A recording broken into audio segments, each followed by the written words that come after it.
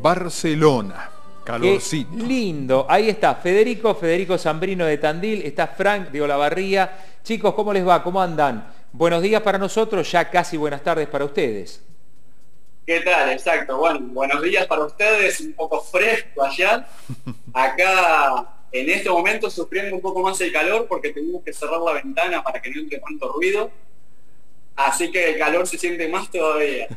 Bueno, acá 2 grados 9 sobre cero la temperatura que tenemos en el centro de Tandil. Pero como les decíamos en el bloque anterior, sí, mañana pronosticado 7 grados bajo cero la mínima. Digo, para que disfruten del calor en la Barceloneta.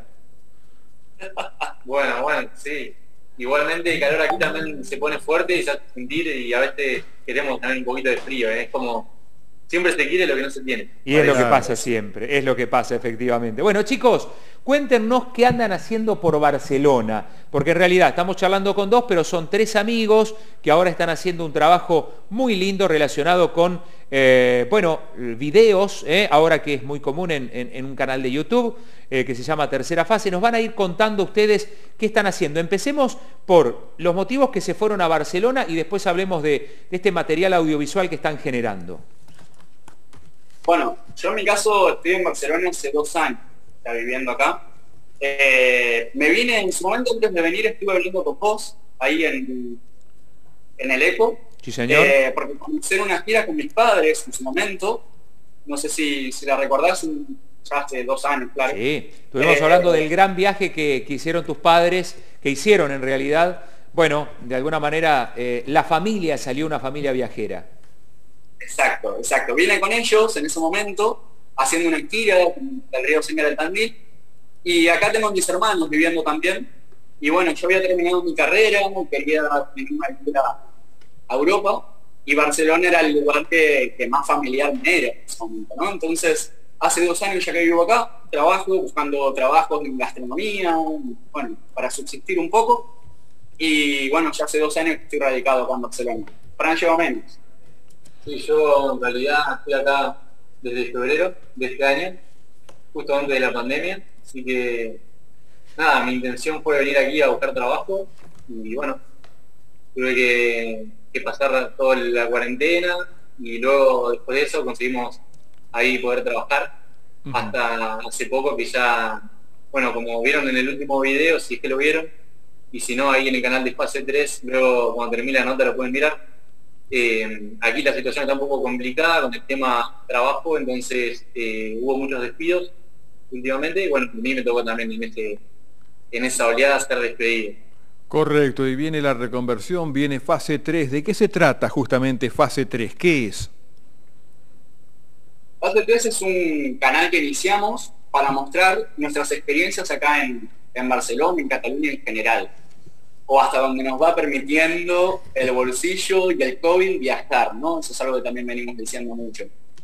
Eh, surgió en un viaje que hicimos a un pueblo vecino, que es Tiches, que es un lugar hermoso, y ahí surgió hacer el primer video, eh, para mostrar un poco la ciudad, mostrar un poco más a nivel turístico y un poco nuestra experiencia en ese pueblo.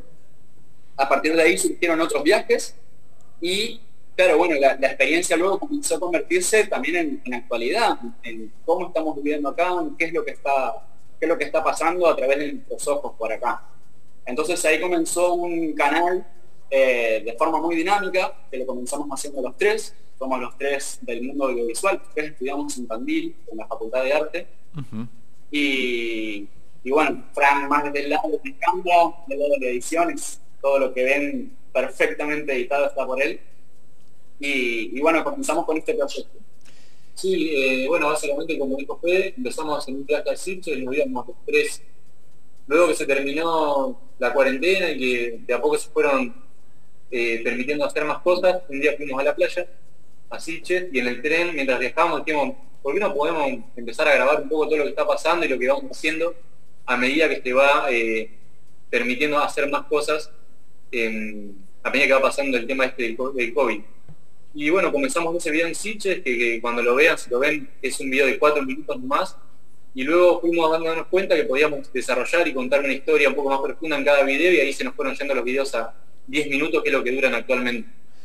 Eh, bueno, como dijo Fede, Fede y Grillo son más del lado de la actuación, ellos estudiaron teatro ahí en, la Facultad de Arte, y yo estudié cine para realización audiovisual. Entonces, eh, bueno, igualmente los tres grabamos, eh, los tres tenemos nuestra versión con cada uno con su teléfono, porque está todo hecho 100% con teléfono, eso también es un dato interesante. Y bueno, después sí, la edición en la, en la computadora, la postproducción la hago yo. Bien, estamos hablando aquí en la radio y en el canal del ECO con Federico Zambrino de Tandil, con Frank, que es de, Olavarría. Nos falta Grillo, que es el tercero. Eh, Grillo es de, Moreno. Che, cuenten la experiencia primero de ser argentinos, irse a vivir a Barcelona. Eh, bueno, vos, eh, Fede, ya, conocías, digamos, pero ¿cómo es esa experiencia? Porque la verdad es que ustedes van cumpliendo el sueño que tienen muchos argentinos y muchos jóvenes en este sentido. Sí, bueno, hay es una de las ideas que estamos manejando para el próximo, para uno de los próximos videos, es mostrar eh, la cantidad de argentinos que hay acá en Barcelona, porque en realidad es, increíble. Vas caminando y te los, escuchás, te encontrás un negocio, una panadería argentina, una parrilla argentina, cada una cuadra. Eh, en realidad parece que estuviéramos casi en Argentina porque pasa la playa y está todo el mundo tomando mate. Eh, es no es tanto el, choque cultural, no es que aquí venís y no hay ningún argentino ni nada, hay demasiados, te diría. Eh, pero es una experiencia muy linda, la verdad, venirse y bueno, sea, sea Barcelona o cualquier lado, siempre está bueno viajar y conocer lugares nuevos, aprender una cultura nueva, algo nuevo, siempre hay cosas nuevas para ver y aprender. Justamente en cosas nuevas, digamos, eh, ¿por dónde va el proyecto? ¿Para dónde apuntan de aquí en adelante ustedes con fase 3? Y de aquí en adelante nuestra idea es, eh, bueno, poco a poco nos estamos eh, haciendo un poco más conocidos, el canal está, está conociendo, está teniendo más reproducciones, más vistas. Lo más importante es para YouTube, el tema de YouTube, es que se suscriba a la gente, tener suscriptores al canal, es totalmente gratis. Cuando vean un video ahí ponen suscribirse abajo, eso nos ayuda un montón, porque logrando cantidad de suscriptores y de vistas es donde nosotros podemos llegar a obtener quizás de todo este trabajo que estamos haciendo un rédito.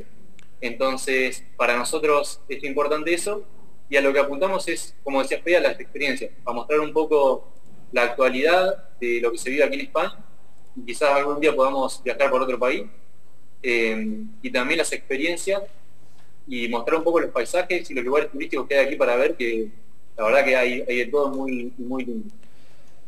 Es muy lindo, es muy interesante chicos eh, cómo están mostrando también Barcelona en, esta situación que Barcelona está viviendo. Cuéntenos un poco esa Barcelona diferente, digamos, quizás haya muchos tandilenses o no, algunos que conozcan Barcelona de una manera eh, determinada, con determinada cantidad de gente. Hoy eh, veía el video, observar, no sé, la, la Rambla, con, pudiendo caminar casi normalmente es increíble y esto ustedes lo van reflejando. Cuéntenos un poco cómo está esa Barcelona, eh, no digo post-COVID porque todavía entiendo, eh, bueno, todavía está la situación, así que cuéntenos un poco en general de esto.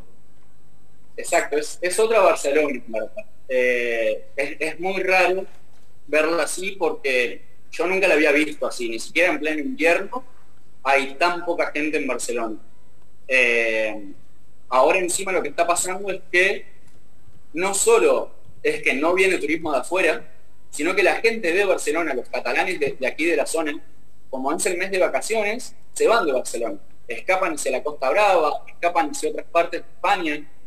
Entonces, realmente te encontrás con una ciudad eh, con muy poca gente eh, y encima con algunas limitaciones a nivel COVID, como por ejemplo que no hay ocio nocturno, han cerrado todo lo que sea, ahora han prohibido todo lo que es discotecas y bares más allá de la una de la mañana, a partir de la una tienen que cerrar. Entonces, te encontrás paseando por estos lugares con poca gente, te encontrás con poco movimiento, que tiene su lado lindo de que aprovechás la ciudad, o sea, aprovechás estar en lugares donde, donde realmente uno los, los evita a veces en pleno verano porque no podés andar porque es ir empujando gente y ahora la verdad es que no, anda nadie, no anda nadie. ¿Cómo está, eh, eh, digamos, eh, ahora puntualmente el tema del COVID? ¿Cómo está en Barcelona? ¿Cómo están los contagiados, fallecidos? Digamos, ¿ha bajado esa famosa curva? Porque sabemos que nos llevan dos o tres meses, pero de alguna manera uno interpreta que lo que pasa hoy en Barcelona podría llegar a pasar, digo, en Barcelona o en España, lo que podría pasar eh, dentro de unos meses aquí en, la Argentina. ¿Cómo está la situación hoy? Y aquí hubo una, un, cese de la curva, sería en, julio más o menos, donde ahí en julio se... junio, julio, junio, julio, donde hubo un montón de permisos para para la gente y se liberó bastante, pero eso, al, por lo visto, causó como que ahora en, final de julio, agosto, haya rebrotes, que seguramente ustedes lo saben. Eh, y bueno, aquí Cataluña es uno de los lugares con más rebrotes y no sé, creo que hoy vi en las noticias había algo así de eh, mil contagiados en las 24 horas de ayer solamente en Cataluña. Eh, estamos en un promedio entre 1.200, los días que baja bajo 800 por día, en Cataluña, ¿eh? no solo Barcelona.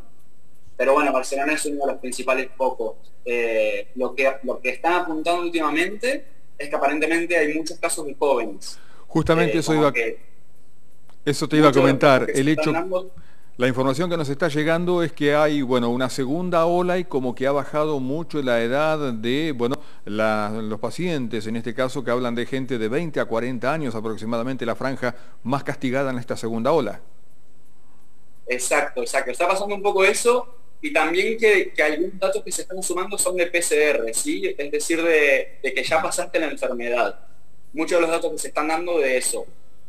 Eh, por ejemplo, yo tengo un PCR positivo, yo ya, lo tuve, ya lo pasé, y ya tengo entonces la, inmunidad por ahora del virus. Y Frank creemos que también, porque fue en la misma fecha que estábamos los dos medios contagiados. ¿Y qué, síntomas eh, tuvieron, chicos? ¿Qué síntomas tuvieron ustedes? Fue fiebre cuatro días, cuatro días de fiebre, y una tos leve, seca, durante un tiempo, durante 10, 15 días. Mucho dolor corporal. Sí, los primeros días. Eh, empecé con una conjuntivitis más que nada, de como una picazón en los ojos, y bueno, después ahí vino la fiebre, eh, el dolor corporal, pero sí, duró, como dice Fede, cuatro días, y después fue cuestión de recuperarse de a poco. Correcto. Volviendo a Barcelona, veíamos eh, el último video o uno de los últimos que ustedes subieron ahí a, fase 3. Fase 3 es todo junto, por si alguien lo quiere buscar, ¿verdad? ¿Alguna característica para encontrar el canal de ustedes de YouTube? y sin número, o sea, todo escrito, vendría a ser fase 3, todo con letras. Con letras, con letras. Fase 3, todo junto. Ahí, ahí se los ve a los tres en la portada del canal de YouTube, fase 3. Em, volviendo al último video, a este Barcelona totalmente vacío, eh, cuéntenos un poco cómo fue la experiencia de hacerlo y cómo se vive, más allá de lo que ya contaron, una Barcelona totalmente diferente. ¿Se puede ir a la playa, por ejemplo? Sí, la, playa está habilitada, no hay problema de ir. Eh, ahora las reuniones están permitidas a 10 personas, eso lo habían abierto a más cantidad y ahora lo redujeron de vuelta. Eh, pero se anda con bastante libertad o sea, se anda con, con el barbijo, con mascarilla, si la policía te ve cuando así sin la mascarilla, te pide que te la pongas. Pero luego la gente anda con, bastante libertad por la calle. Este, se va a la playa, se hace deportes, se hace varias cosas con precauciones, con medidas de precaución. Eh, ¿En qué barrio, ¿en qué barrio viven ustedes, chicos? Estamos en el centro de Barcelona, en el Champla. Correcto. Ah, lindo lugar. Sí, es muy cerca, cerca del gótico, cerca del Raval. Estamos, para los que conocen, a mitad de camino entre Plaza Universidad o Plaza Cataluña y Plaza España. Digamos que están en el medio de todo. Exacto, exacto. Correcto. Correcto. Eh, en este sentido, bueno, nosotros, insisto, veíamos el video e invitamos a que se sumen a a, fase 3. Pero Rodolfo quería hacerles otra pregunta. Sí, no, un poco cómo se está viviendo allí en Barcelona lo deportivo, bueno, cómo ha sido esta semana después de los ocho goles que se trajeron en, la valija. Los alemanes no paran, ¿viste? No les, alcanza el 7 a 1 en Brasil que ahora quieren hacer un 8 a 2. Claro. Tremendo. Son terribles, bueno, sí, acá de, golpeó mucho alrededor de, de ver qué va a pasar con Messi, ya renovaron el nuevo técnico. Eh, la gente cuando los escuchás a los catalanes hablar de Barcelona están decepcionados. ¿Son muy fanáticos allá? ¿Hay fanatismo? el, día, del partido se notó que había mucha gente en los bares viendo el partido eh, y ese día se notó como que había más actividad nocturna que otros días normales de, ahora del coronavirus. Pero bueno, sí, eh, no fue mucha fiesta por el tema de que se comieron noche, pero bueno. Claro, claro, ni hablar. Bueno chicos, eh, Fede, muchas gracias, Federico Zambrino, eh, Frank de Olavarría, Zambrino Tandilense. Eh, no sé si quieren mandar un, saludo, están conectados todo el tiempo, hoy por hoy, gracias a, la tecnología, pero bueno, papá y mamá ahí deben estar, Fede, ahí frente al televisor seguramente. Sí, seguro, amaneciendo con el mate por ahí, así que mandamos un saludo. Si quieren acá la, última sorpresa, abajo, abajo. Ahí se incorpora Grillo. Grande Grillo. Eh, un saludo, Grillo, acá desde Tandil, te mandamos. Eh, un abrazo grande. ¿Qué pasó, Che? ¿Te levantaste tarde? Eh, sí, tenía que Ahí, te perdemos un cachito, Habla, hablate un poquitito más fuerte. No les pregunté la hora, ¿qué hora es allá? Acá son 2 menos 20. 2 menos 20, 2 menos 20, bien. Les mandamos un saludo a los tres chicos. ¿Cómo? y ahora vamos a comer algo Está muy bien, a comer algo, está muy bien. Bien. Que tengan una buena jornada, eh, buena tarde de miércoles para ustedes. Sí, ibas a decir algo. Sí, no, que, que la comunicación con la familia siempre está, pero bueno, hay un montón de amigos que, últimamente se vienen con por esto de Pasto 3, así que a todos ellos un abrazo enorme, ¿sí? Hay un montón de gente, que acá los chicos están adoptados por Tandil, que tienen el documento tandilense también, Así que hay un montón de amigos de, los tres allá que, siempre están mandando buenas noticias y todo. Y a todos ellos un, abrazo y un beso. Sí, la verdad que agradecemos un montón toda la discusión que están haciendo, que nos un montón a ustedes y a todos los que, todos los que han compartido las ideas, las noticias, etc. Bueno, van a sumar algunos seguidores. Acuérdense, fase 3 en YouTube, fase 3 todo junto y con letras. 3 con letras, fase 3 todo junto y con letras. Chicos, que tengan una buena tarde ahí en Barcelona. Un abrazo grande. Ahí estaban, señores, el tandilense Federico Zambrino, el olavarriense Frank y Grillo de Moreno, de Gran Buenos Aires, desde Barcelona, con una temperatura casi agobiante ellos y nosotros con apenas 3 grados. Esto